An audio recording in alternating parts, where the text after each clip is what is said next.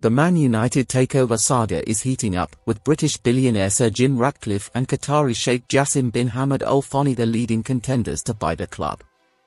Hello Red Devil fan, welcome to our Minute News, subscribe to our channel and get up to everything about Man United, hit the notification bell so you don't miss the latest news we'll bring you in first hand.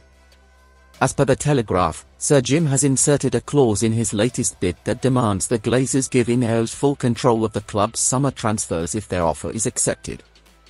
Ratcliffe wants his own influence over the kind of signings he wants Man United under him to make going forward.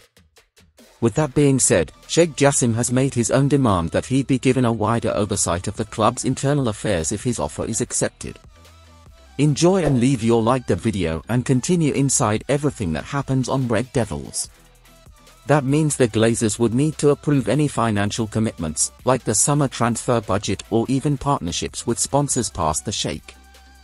However, a source close to the matter has claimed that it'd be legally impossible for the Glazers to grant these wishes before a full takeover is completed.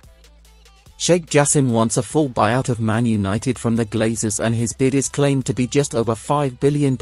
Ratcliffe has made a bid to acquire 51% majority stake and is ready to let the Glazers stay, but they won't have any control over how the club operates. Now, in your opinion, thinking about the club who would be the best option, Sir Jim or Sheikh Jassim? Leave your comment on the subject as it is very important for our team.